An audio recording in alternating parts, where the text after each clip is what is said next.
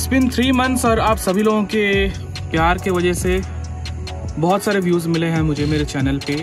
और पिछले तीन महीने में मैंने करीब करीब बारह या तेरह वीडियोस बना दिए हैं। और आप सभी लोगों ने देखा होगा कि मोस्टली जो वीडियोस थे लॉन्ग एक्सपोजर और बारिश के महीने पे मानसून के टाइम पे शूट किए हुए हैं।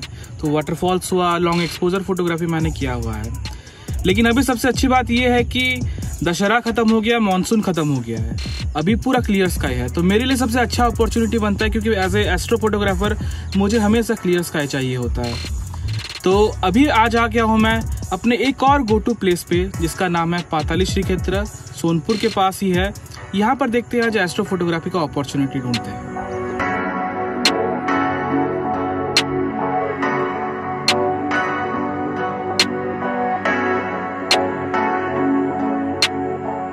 पता है आज मेरे से एक ब्लंडर मिस्टेक हो गया।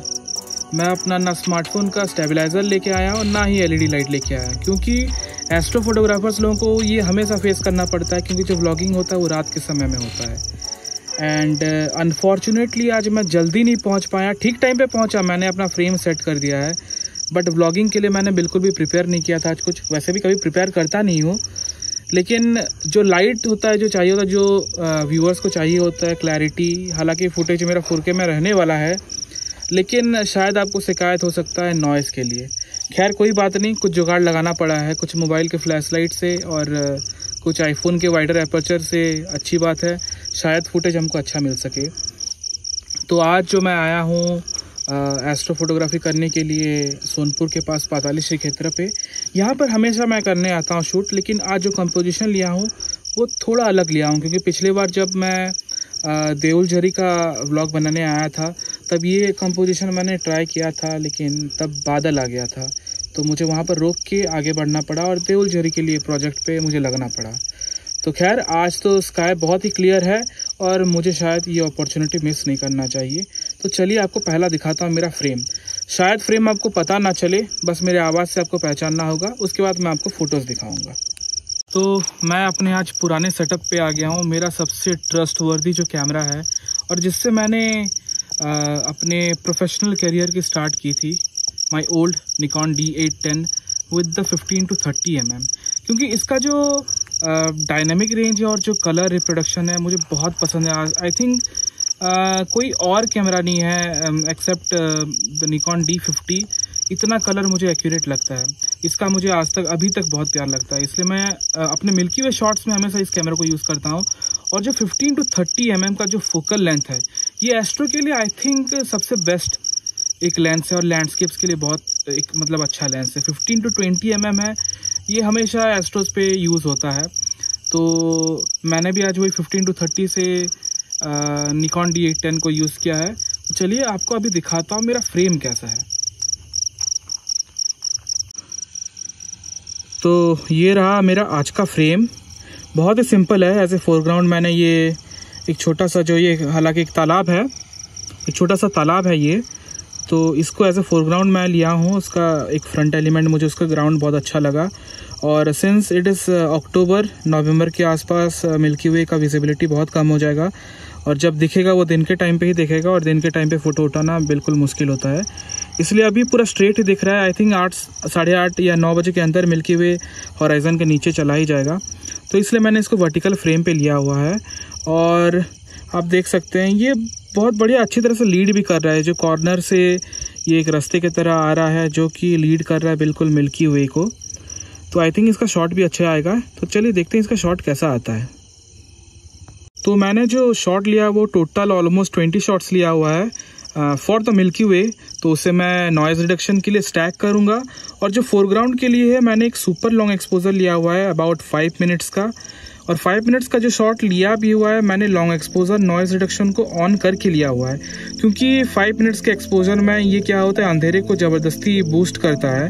ज़बरदस्ती एक्सपोज करता है तो हॉट पिक्सल्स जनरेट होते हैं और कलर नॉइज़ क्रिएट होते हैं। तो ये नॉइज़ रिडक्शन जो होता है लॉन्ग एक्सपोजर का, वो हेल्पफुल रहता है। वो थोड़े थोड़े जो नॉइज़ कलर नॉइज़ आएँगे, उसको वो हटाने के लिए काम आता है। और मैं इसको फोटोशॉप में दोनों फ़ोटोज़ को ब्लेंड करूँगा।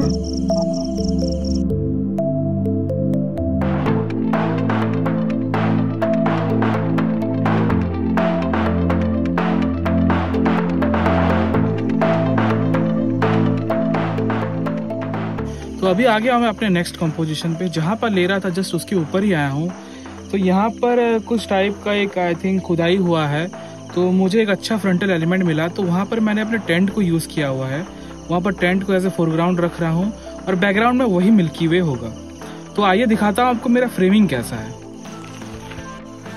तो ये वाला जो आप देख सक रहे हैं अभी मेरा फ़ोटो ये टेंट को मैंने एज ए फोरग्राउंड रखा हुआ है।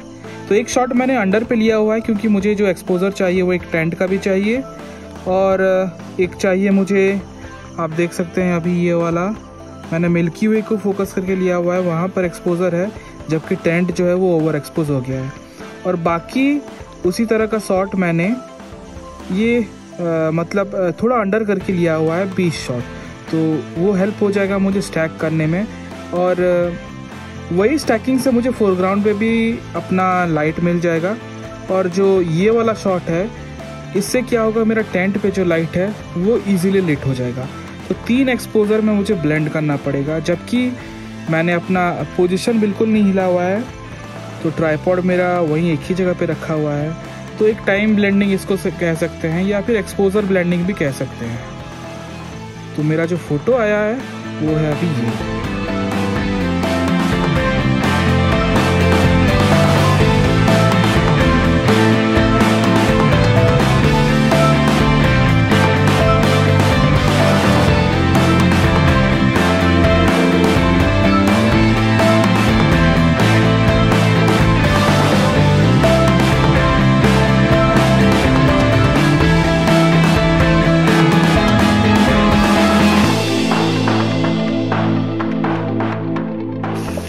फोटोग्राफी तो चलता ही रहेगा। लेकिन बहुत लोगों के दिमाग में ये क्वेश्चन तो रहा होगा कि अगर ये लोग रात भर फ़ोटो उठाते हैं तो फिर खाते, पीते, सोते कहाँ होंगे? तो ये हम लोग का जुगाड़ रहता है, जहाँ भी जाते हैं, अपना कोई जुगाड़ लेके ही जाते हैं। अब फ़ोटो तो बारह एक बज जाएगा स्टार्ट रेल जो है। तो सोचे कुछ ना कुछ खाना ही बना लिया जाए। तो ये बस, खाना चल रहा है अपना बनाना। बस देखते रहिए वीडियो को।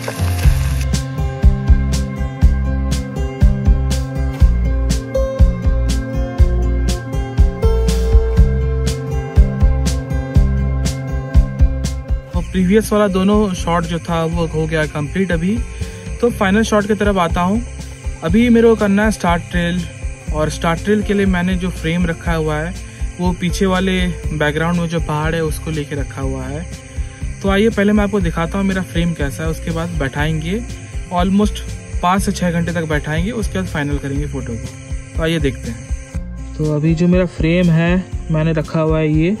आप देख सकते हैं छोटा सा पत्थर है एज ए फोरग्राउंड और मिड ग्राउंड में वो पीछे वाला माउंटेन है। राइट साइड में जो थोड़ा लंबा हो के है, वो है त्रिकुटा पर्वत। और स्टार्स तो देख सकते हैं आप, बहुत भर्ती हुआ है पूरा, अच्छी तरह से। तो इसके लिए मैंने एक और शॉट भी लिया हुआ है, जो कि मैं आपको दिखाता हूँ। टेंट को भी रख के ऐसे फोरग्राउंड एलिमेंट देने के लिए। तो मैं जो शॉट लेने वाला हूँ, वो almost five hundred to six hundred होगा। That means I have to wait till twelve o'clock अभी बजा हुआ है, साढ़े छः से सात के बीच में बजा हुआ है। तो देखते हैं वो वाला शॉट पहले। मेरा जो टेंट वाला शॉट है, वो है ये।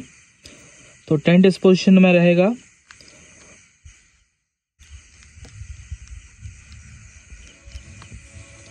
ये वाली पोजीशन में टेंट रहेगा और स्टार्ट ट्रेल होगा। तो इसको भी मैं ब्लेंड ही करूँगा। एक्सपोजर ब्लेंडिंग कह सकते हैं। तो चलिए स्टार्ट कर लेते हैं फ़ोटो और अब वेट करते हैं पाँच से छः घंटा। उसके बाद मैं आपको दिखाऊँगा फ़ोटो कैसा होगा।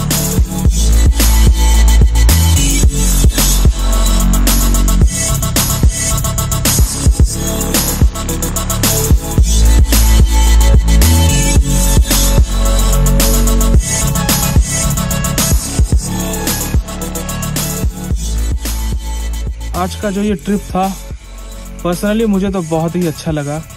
नए नए एक्सपीरियंसेस हुए। और जो फ़ोटो भी मिलना था आई थिंक अच्छा आ गया है। मेरे हिसाब से अच्छा ही आया है। अब वो कंप्यूटर में देखने के बाद ही पता चलेगा कैसा रिज़ल्ट आया है। सबसे अच्छी बात यहाँ था कि दो दोस्त आए मिलने और लगे हाथ, थोड़ा पार्टी वार्टी भी हो गया।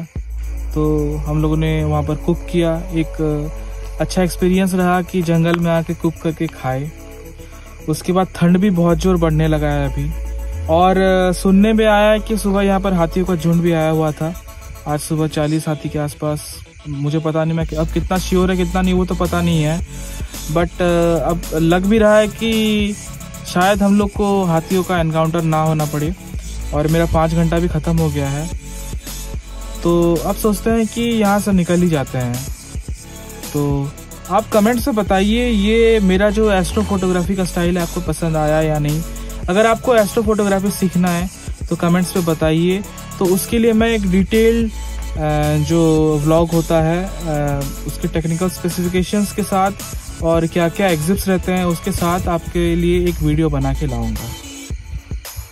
तो इस तरह के वीडियो और देखने के लिए आप मेरे चैनल को सब्सक्राइब कीजिए।